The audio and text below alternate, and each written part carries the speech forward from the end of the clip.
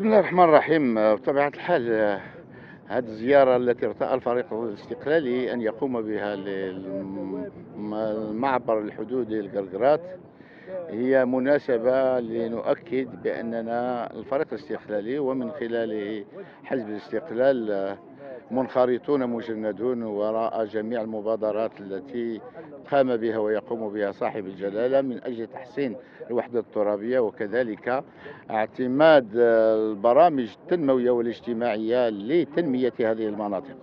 وكذلك هي مناسبة باش نتمنوا كذلك يعني التدخل الأخير السلمي الذي قامت به القوات المسلحة الملكية من أجل إعادة فتح هذا المعبر معبر الككرات الذي أبت إلا شرذمة من المرتزقة على يعني عرقلة السير بها. فلذلك نحن نثمن عاليا هذا التدخل الاحترافي اللي قامت به القوات المسلحة من أجل إعادة الروح والحركة التجارية والمدنية يعني لهذا المعبر. وكذلك لا بد من استغلال الفرصة لنشيد بالقرار الأمريكي الأخير الرامي إلى الاعتراف بسيادة يعني المغرب على الأقاليم الصحراوية والقرار الرامي كذلك إلى فتح قنصليتها يعني بهذا بالداخلة وكذلك لابد أن نستغل يعني التواجد ديالنا هنا يعني بهذه المناطق باش نرفعوا نداء إلى الإخوان ديالنا والمحتجزين بالتندوف من أجل يعني العودة إلى وطنهم. فالوطن غفور رحيم والوطن يسع للجميع بطبيعة الحال.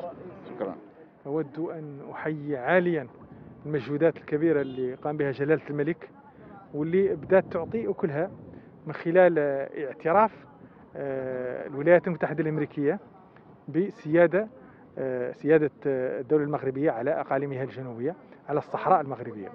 هذا ال هذا ال هذا الإنجاز العظيم يأتي في سياق يعني يعني الكثير من الانتصارات اللي قام بها اللي اللي عرفتها اللي أذكر من بينها آه، آه، يعني فتح هذا المعبر بصفة سلمية.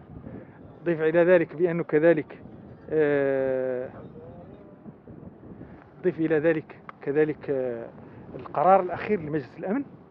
واللي حدد الأطراف الرئيسية في المشكل الجزائر كطرف رئيسي ضيف إلى ذلك بأنه كذلك صنف المقترح المغربي في الحكم الذاتي كحل آه، يعني واقعي وقابل للتطبيق وقابل يعني ممكن إنه يحل يكون حل حقيقي لهذه هذه المشكلة.